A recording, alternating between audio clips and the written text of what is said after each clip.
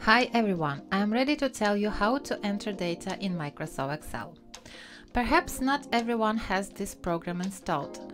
To do this, you need to Google and type in a search bar Microsoft Excel download and go to microsoft.com, click on the Products tab and select Pricing for Home and choose an acceptable rate.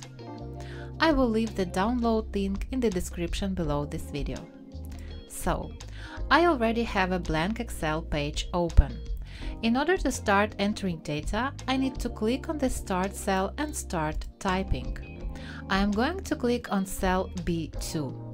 Remember that the cell name consists of the name of the column, in our case it is column B, and the row number, it is row number 2.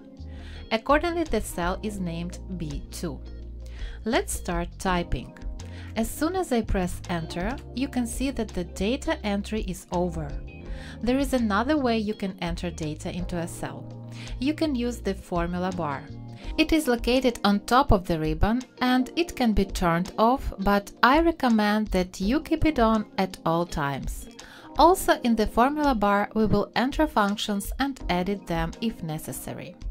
Now let's try entering data into cell C2 using the formula bar. To do this, I'm going to click on the cell C2 and go to the formula bar. Let's start typing. Surname. As you can see, everything I type in the formula bar is reflected in cell C2. And as soon as I press enter, all the information I entered will remain in the cell. To summarize, you can enter data into a cell in two ways, in the cell itself and through the formula bar.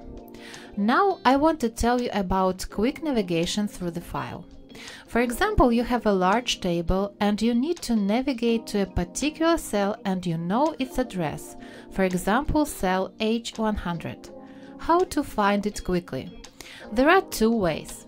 First, you scroll on your mouse or go to name box, enter the name of the cell and press enter. As you can see, Excel has found this cell and now if I start typing something on the keyboard, all the changes will be in this cell. Okay. Now, how do I quickly go to the first cell, A1 for example? Simply press the Ctrl plus Home keys. They are right here. As a homework, I am going to give you the task of creating your first Excel file and try to navigate through it and write a couple of values in the cells that you choose. I'm sure you'll be able to do this with ease. Join me for my next lesson.